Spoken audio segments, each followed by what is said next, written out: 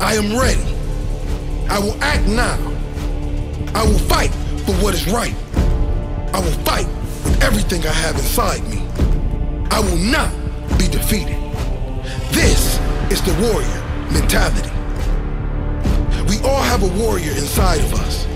It's that determination to take on any challenge, the desire to win at all costs, the honor to fight for what is right.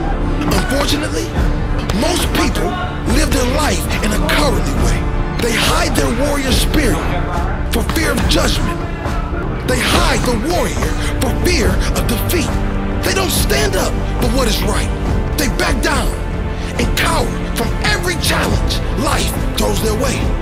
They are uninspired, unmotivated, and lack conviction. Warriors are certain about the direction they are going in life. Others to make sure they are on the right path.